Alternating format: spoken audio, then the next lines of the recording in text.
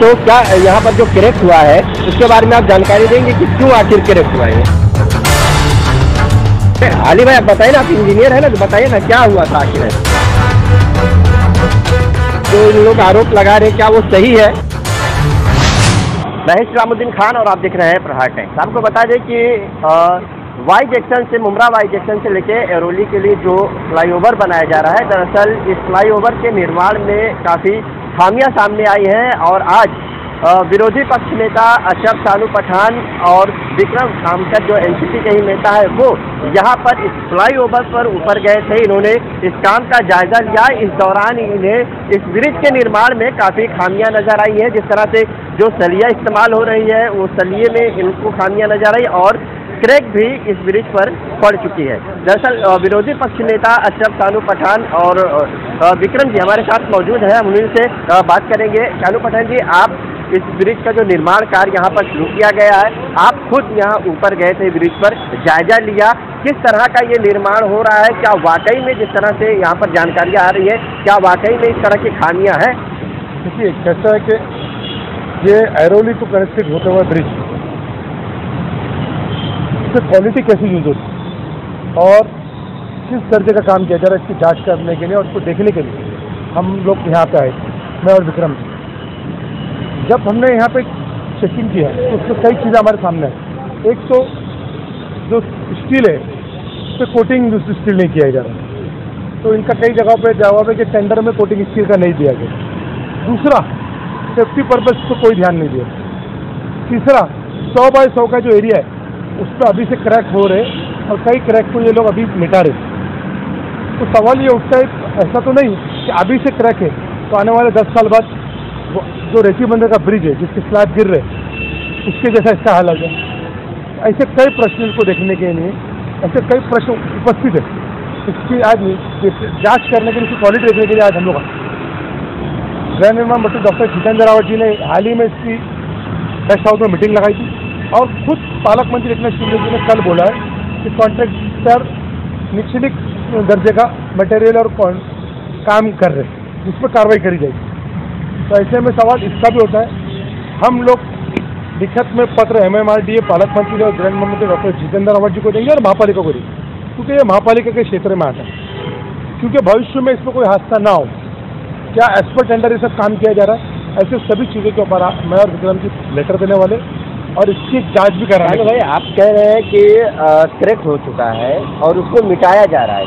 तो किस तरह से मिटाया जा रहा है? क्या लीपा पोती की जा रही है? सीमेंट लगा के क्रैक को दिया जा रहा है? रहा है दीपापोती करते हुए। इसका इसका फ़ोटो मैं आपको सामने दिखा सकता हूँ। ये देखिए।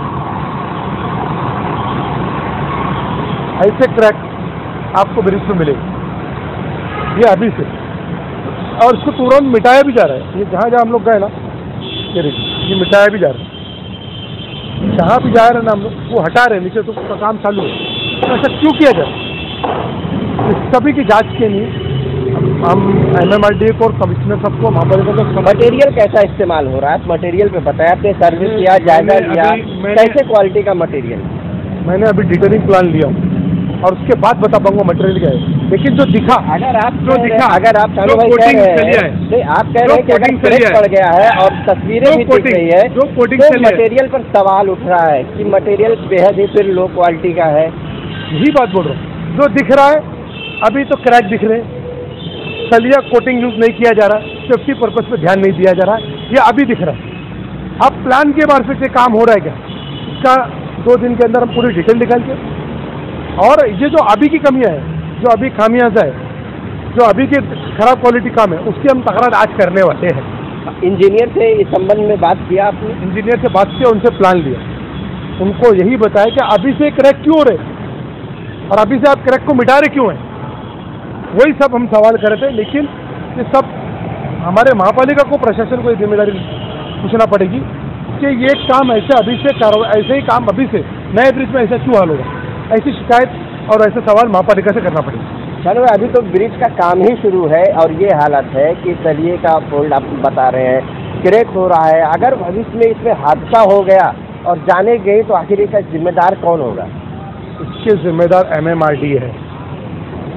महापालिका और एमएमआरडी के की ज़िम्मेदारी है कि ब्रिज की क्वालिटी को एज पर टेंडर काम करे।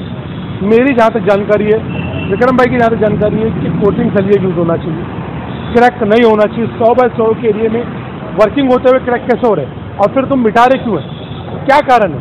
क्या क्वालिटी जो जो मटेरियल है, वो सही इस्तेमाल नहीं होने की वजह से क्रैक हो रहा है? क्योंकि मटेरियल सही इस्तेमाल नहीं होने की वजह से ही क्रैक होते विक्रम भाई, आपने भी यहाँ ब्रिज के ऊपर गए थे, जायजा लिया।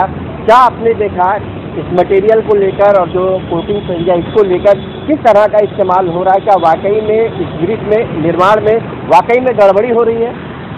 ऐसा है कि थाने महापालिका क्षेत्र में जो ब्रिज बनाए जा रहे हैं जैसे ये S M C infrastructure bridge बना रहा है वैसे एक एक ब्रिज कलवा नाके पे हो रहा है। अगर उस ब्रिज में आप देखोगे तो हर स्टील इपोक्सी कोटेड यूज़ किया गया है। उस ब्रिज से ये ब्रिज चार गुना बड़ा है और इसके ऊपर की जो ट्रैफ़िक की तादाद है वो चार गुना ज़्यादा है। और वो भी बड़ी गाड़ियों की है। वो भी बड़ी गाड़ियों की है।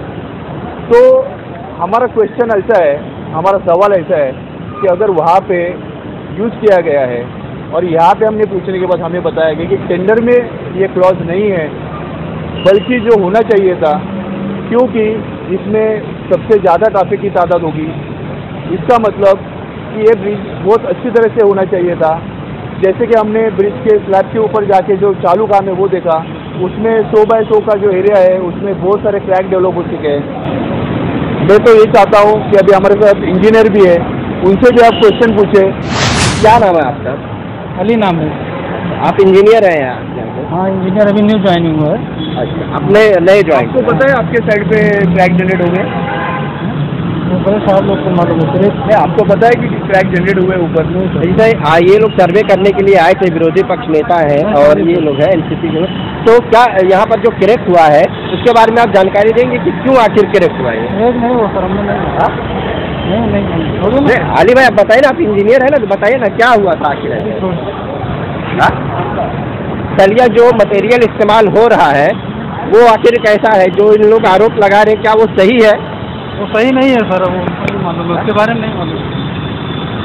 तो ये थे यहाँ के जो इंजीनियर हैं अली अपना नाम बता रहे हैं कुछ भी बताने से जो है ये मुकर रहे हैं। बहरहाल यहाँ पर जो विरोधी पक्ष नेता अशरफ सानू पठान और एनसीपी के नेता विक्रम आए हुए थे यहाँ पर।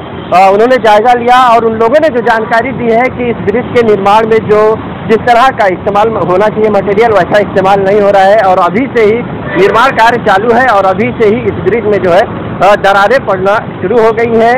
भविष्य में अगर इसी तरह का मटेरियल इस्तेमाल किया जाता रहा तो ऐसी अब तक हमने कई खबरें देख चुके हैं कि ब्रिज गिरने की वजह से लोगों की जान जाती है और जो वाई जंक्शन से ये अरोली की तरफ़ ये बड़ा ब्रिज बनाया जा रहा है। ये यहाँ से बड़ी गाड़ियों का आना जाना है और अगर अभी से निर्माण शुरू होने पर ही इस ब्रिज में दरारें पड़ रही हैं तो यकीन ये काफ़ी खतरा है और चिंता का विषय है। बहरहाल विरोधी पक्ष नेता सत्तानु पठान का कहना है कि इसकी शिकायत वो जो वरिष्ठ नेता है और मनपा में भी वो करेंगे। कैमरामैन नीलेश के साथ इस्लामुद्दीन खान प्रहार टाइम्स मुमरा